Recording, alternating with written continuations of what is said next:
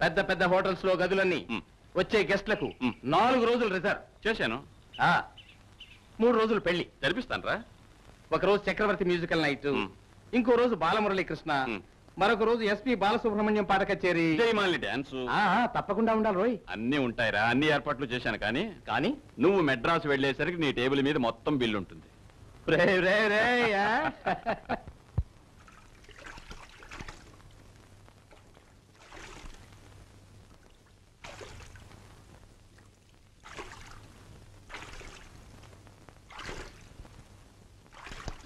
రాధిక ఇద్దరం ఒకే పడవలో పయనిస్తున్నాం.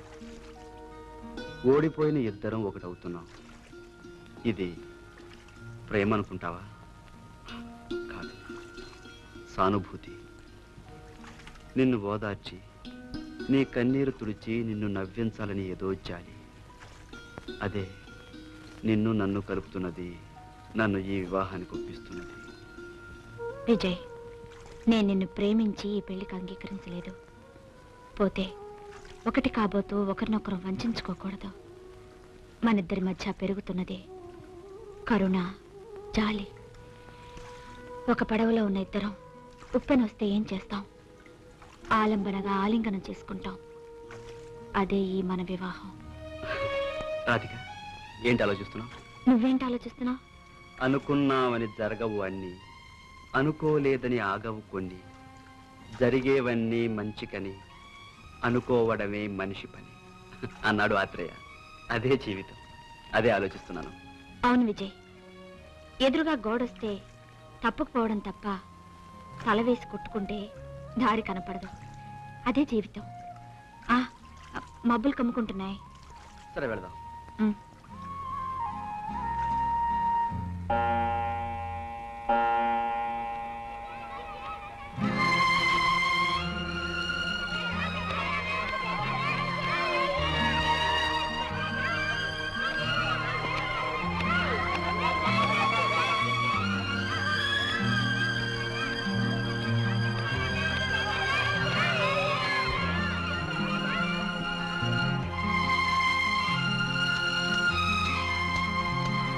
పెళ్ళి మూడు రోజులు ఊటీలో ఉన్న థియేటర్ అన్నింటిలోనూ అందరికీ సినిమాలు ఫ్రీ. నయం. రేసులు జరుగుతున్నాయి. వాటికి కూడా అందరికి ఫ్రీ టికెట్లు కొనిచ్చారు కాదు.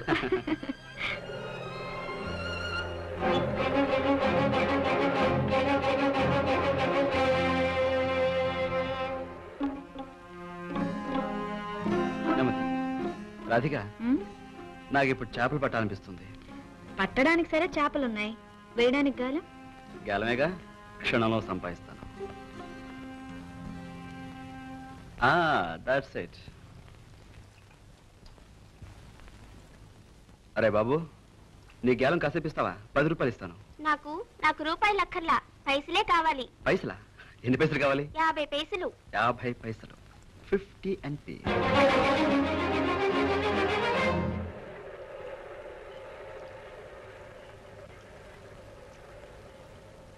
చూసేవా రాధిక వీడి ఆలోచన ఆశ యాభై పైసలకే పరిమితం. He don't know the value of rupees లక్షలు ఇస్తామన్నా తీసుకోడు. రే బాబు ఇదో యాభై పైసలు. ఆ గ్యారం నాకు ఇచ్చి నువ్వు కాసేపు నాకు రా ఆ? ఉమ్, కూర్చో రాధిక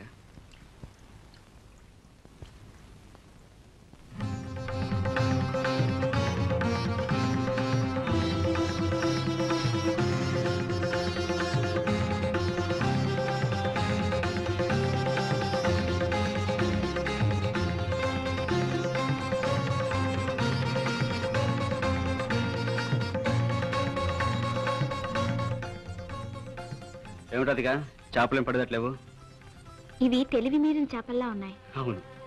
ఈ తరమే అంత ఓవర్ ఇంటెలిజెంట్. ఎక్కడో కొన్ని ఉంటాయి. పాపం అమాయకంగా ఎదుటివాడి దురుద్దేశం తెలుసుకోకుండా ఎరను చూసి గేలానికి చిక్కుకుపోయేవి. నాకు బోర్ కొడుతుంది. అలా వెళ్ళి ఆ పిల్లలతో ఆడుకొనిస్తాను. Gonna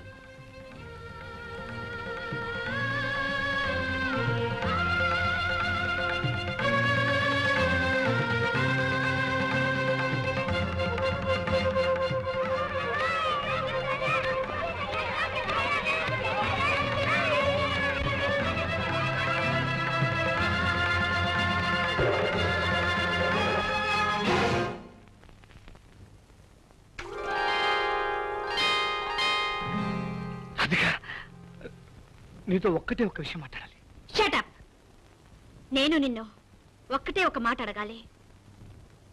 Do you know the value of love నీకు ప్రేమంటే తెలుసా? యూ స్కౌండర్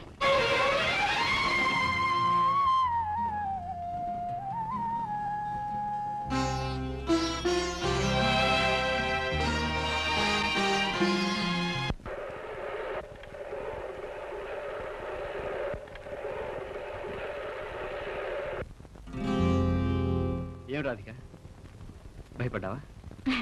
అబ్బే అదేం లేదు. అయినా విజయ్ ఈ పని నువ్వు చేయడం ఏమిటి? ఏం లేదు. లాన్ ఎగుడు దిగుడుగా ఉంటాను.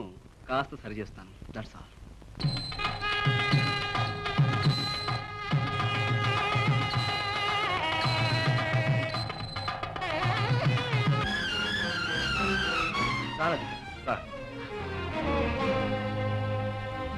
విజయ్ ఏమిటిది?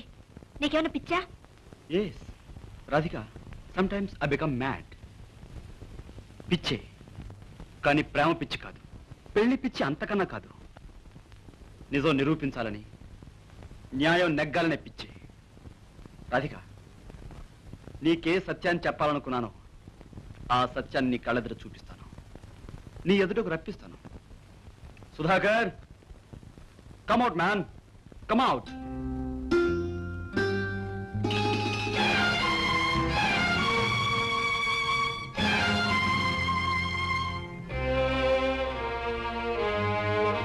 Radhika you see his face చూడు రాధిక ఆ ముఖాన్ని చూడు. నమ్మించి మోసం చేసే ఆ ముఖం అది. ఆ కళ్ళు చూడు. అందులో కొంచెమైనా కల్లా కప్పడం కనిపిస్తుందా?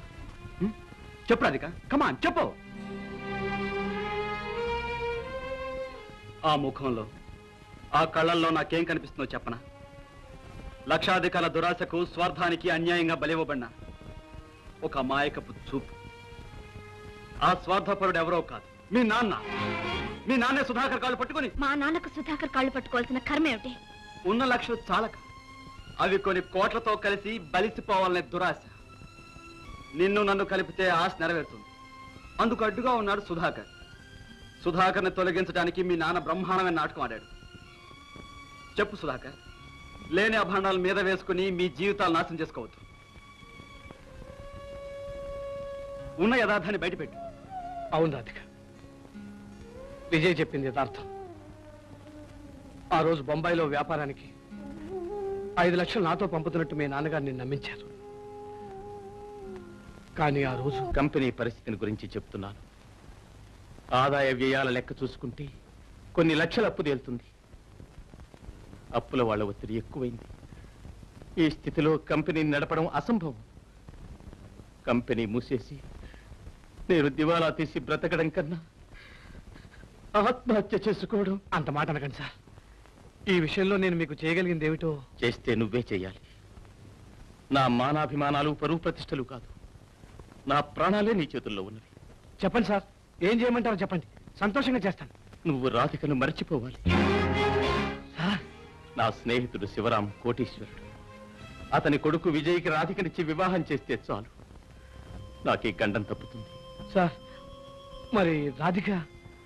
రాధిక కాళ్ళ వెళ్ళబడి ఎలాగో నేను ఒప్పించుకుంటాను. రాధిక నా కూతురు. తన ప్రేమ కోసం కన్న తండ్రి శవాన్ని కళ్ళ చూడాలనుకుంది. నువ్వే పరాయివాడి నిన్నెలా అడగాలో ఎలా ఒప్పించాలో నాకు అర్థం కావడం లేదు. సుధాకర్ ఇవి నీ చేతులు కావు. కాళ్ళనుకో నాకు ప్రాణభిక్ష పెట్టు. నా పరువు నిలబెట్టు. రాధికను నువ్వు మరవడమే కాదు. రాధిక నిన్ను మరిచేటట్టు చేయాలి. అదెలా సార్? ముందు నువ్వు సరేనను తర్వాత చెప్తాను.